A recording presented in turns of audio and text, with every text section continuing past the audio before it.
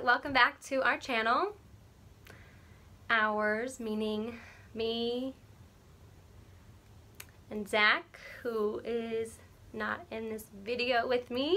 Anyways, I wanted to make a video for all of you who are asking about my journey in becoming a sign language interpreter, um, how long it took me to learn sign language, which I'm going to answer right now. I'm still learning, um, and what my process looked like which I still feel like I'm on that journey and I will always be on that journey, but I'll share with you what I have been through so far. Um, so where should I start? Some of you may have watched our first, second video on how we met. I don't know why I keep feeling like Zach is right here.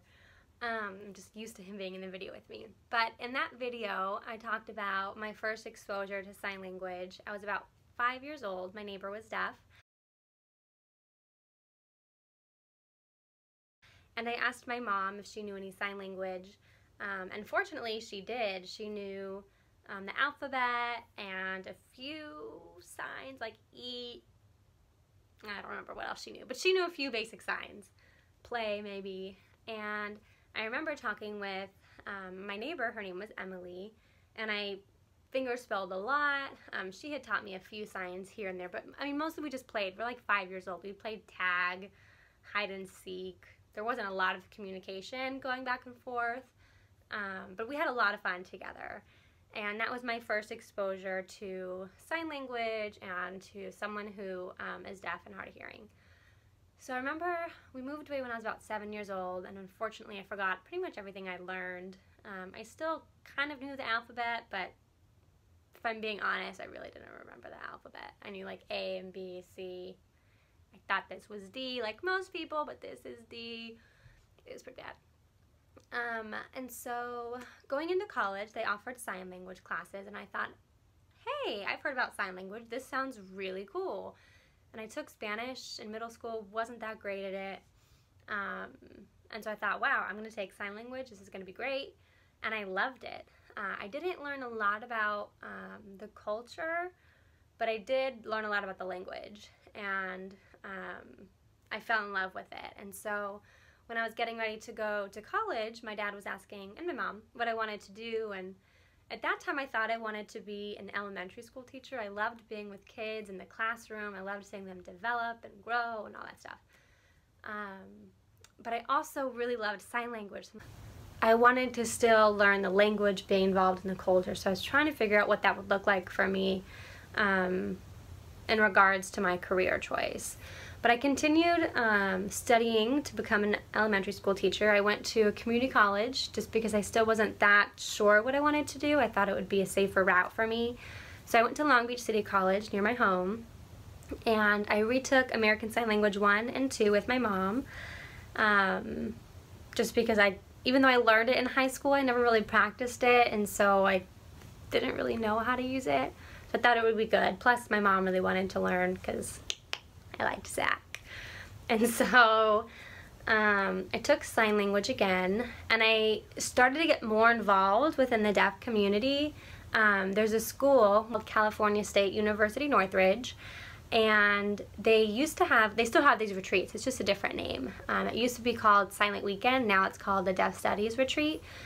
And so i remember going to that my first year and it's this weekend getaway with deaf people signers people involved with the deaf community. And um, i loved it because at this retreat it's the first time ever where it's just a group of people involved in the deaf community voices are off. You're not supposed to talk at all. And at that time, I still didn't really know a lot of sign language, so it was really challenging for me. The workshops I went to were not interpreted, so I missed a lot of information, but it was such good exposure for me to be immersed within the deaf community and the deaf culture, and I loved it. And at that point, I knew, okay, I'll, as much as I love children, I love the deaf community. I love the deaf culture. I want to be involved in this for the rest of my life. And I felt really the way to do that was to become an interpreter. Um, and so coming back from that retreat, I spoke with my advisor at Long Beach City. I said, okay, like, I know I wanted to do liberal studies, but I'm thinking about changing majors. I heard that California State University Northridge, CSUN, um, offers an interpreting program. I would love to be able to transfer there one day. What do I need to do? And so I took the classes I need to take at Long Beach City, General Ed, and um, the more I talked to deaf people and other interpreters, they all kept saying, the same thing. Get involved in the deaf community. Get involved in the deaf community. Get involved in the deaf community. Um, and I think that that's what I'm going to tell everybody else who's watching this video. Get involved in the deaf community. Because I did take, I mean, I took a lot of sign language classes. Um, I went to another community college, El Camino, and I took American Sign Language 2 again there. They had a different deaf teacher, and I really wanted to be in her class. I heard she was an amazing teacher and I took ASL 3 there, I took Deaf Culture there, which was all great, and I learned a lot, but really being involved in the deaf community um, was the best, and that's really, again, why I wanted to become an, an interpreter, was to be involved in the deaf community. Um, and so I feel like that's where I really learned the language, that's where I understood it, um, that's where I was able to practice it, um, and really just get connected with people. Like I, and that's what I love. I love connecting with other people. And so I moved up to Cal State. Well, I used I moved up.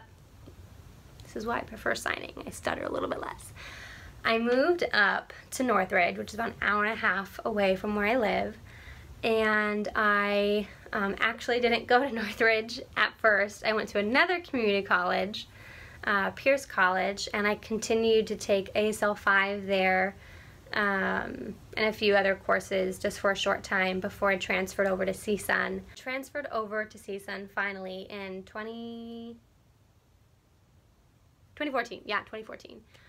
And um, I applied for their interpreting program and I was so nervous because obviously we all compare ourselves and so I'm looking at the other students who are applying. And I'm like, wow, their signing is so beautiful. I love their hands, like their fingers. It's so weird when you interpret or when you're involved, you just look at people's fingers and you're like, wow, they sign so beautiful. Um, and we're all a little insecure, maybe not, but I definitely was and can still be definitely insecure about my signing. Um, and so I remember just being really nervous. I was talking to Zach and my other friends. I applied super late because I was like, I'm not going to get in. There's no point. Um, you know, but I'm really lucky to have people who pushed me and said, you can do it, just give it a shot, believe in yourself.